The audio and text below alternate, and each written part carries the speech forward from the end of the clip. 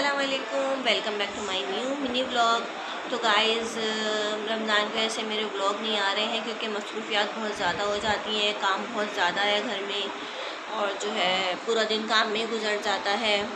और मैं आपसे बस एक बात ये बोलना चाह रही थी कि जो है, जो फैसलाबाद में बच्चे की डेथ हुई है, गर्दन कट गई है उसी डोर से तो प्लीज़ मैं ये रिक्वेस्ट कर रही थी कि जो जो पतंग उड़ाता है प्लीज़ पतंग उड़ाना बंद कर दो।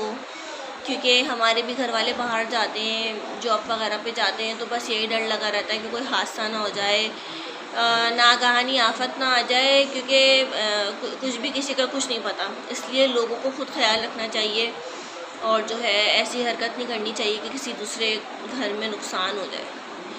तो बस मुझे जो है वो फैसलाबाद में जो बच्चे के साथ हुआ है, वो जिस तरह रोड पे गिरा है, उसकी वीडियो देख के मुझे इतना अफसोस हुआ कि जैसे कुर्बानी का जानवर वाकई में जिस तरह ऊँट का गला कटता है ना और वो जैसे घूमता है, उसको मुझे देख के बहुत अफसोस हो रहा था बेचारे को। तो बस मैं सारे बच्चों से जो जो पतंग उड़ाता है, उन सबसे जो है रिक्वेस्ट करना चाह रही थी कि प्लीज़ पतंग उड़ाना बंद कर दो। और जो है, आपकी पतंग उड़ाने से किसी एक घर का नुकसान हो जाएगा, बस। क्योंकि डोर उसकी बहुत ज़्यादा, बस, बहुत ही अफसोस। उस माँ से पूछो जिसकी, जो जिसका बेटा चला गया, बहनों से पूछो जिसका भाई चला गया, मुझे बहुत अफसोस हो रहा है। क्योंकि मैंने वीडियो देखी ना तो बस वीडियो देख के मुझे बहुत ज़्यादा अफसोस हुआ।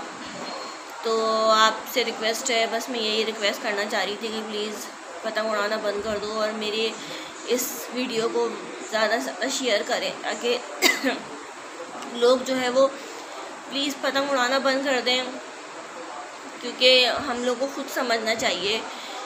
ख़ुद ही हम लोग इतने मेच्योर हैं कि हमें ख़ुद इस चीज़ का एक्शन लेना चाहिए कि हम जो, हमें जो है ये ऐसी हरकत नहीं करनी चाहिए। तो अपना ख्याल रखिए और दूसरों के बारे में भी ज़रूर सोचिएगा। थैंक यू अल्लाह हाफिज़